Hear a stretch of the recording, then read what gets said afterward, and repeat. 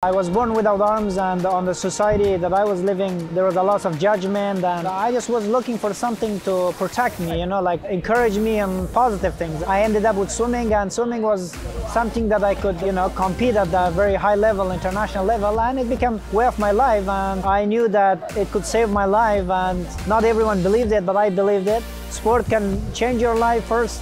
It can give you positive thoughts and it's more than just training. It's you know, encouraging other people. When every time I swim, I reborn. And you have to feel that in your soul and you have to love it and you have to enjoy it.